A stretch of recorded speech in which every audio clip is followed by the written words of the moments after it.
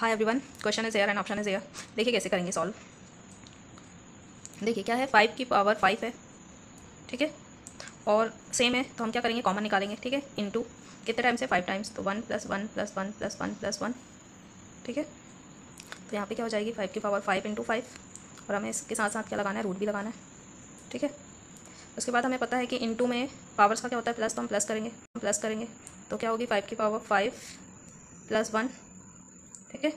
तो क्या हो जाएगी? रूट फाइव की पावर सिक्स उसके बाद, देखिए फाइव की पावर है सिक्स और रूट को हम क्या लिख सकते हैं? टू ठीक है? इसका हम डिवाइड करेंगे तो क्या होगी? Three so answer is five raise to the power three so option A is the right answer